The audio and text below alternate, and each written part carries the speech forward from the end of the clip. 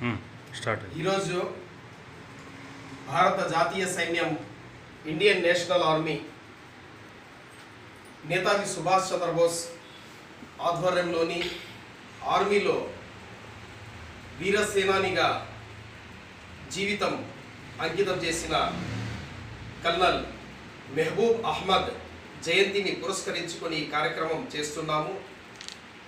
మహనీయులు దేశం కోసం మాతృభూమి కోసం తమ జీవితాల్ని త్యాగం చేసిన త్యాగధనులను పురస్కరించుకొని అలాంటి త్యాగధనులను పురస్కరించుకొని వాళ్ళను జ్ఞాపకం చేసుకొని వాళ్ళ యొక్క జీవితాలను మన జీవితంలో ఆచరణాత్మకంగా వారి జీవితాల్ని మనం మార్గం చేసుకొని ముందుకు పోయి మన దేశ జాతీయ సమైక్యత దేశ సుస్థిరత జాతీయ సమైక్యత మరియు పరమత సహనం మరియు మనమందరము అన్నదమ్ముల్లా ఉండి మన దేశం పురోభివృద్ధి కోసం పాటుపడటం కోసం ఇలాంటి మహనీయులను మననం చేసుకొని కార్యక్రమాలు చేసుకుంటున్నాము.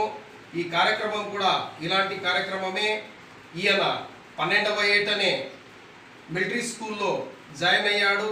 ఆ తర్వాత బ్రిటిష్ ఇండియాలో ఆర్మీ కెప్టెన్గా చేరి విధులు నిర్వహించి ఆ తర్వాత ప్రపంచ యుద్ధంలో కూడా పాల్గొన్నాడు.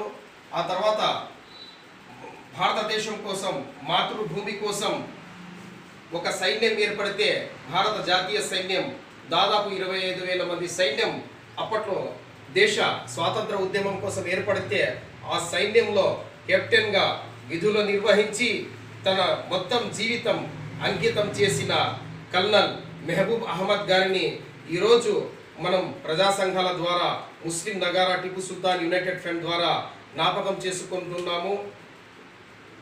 కల్నల్ మెహబూబ్ అహ్మద్ అమర్ హై.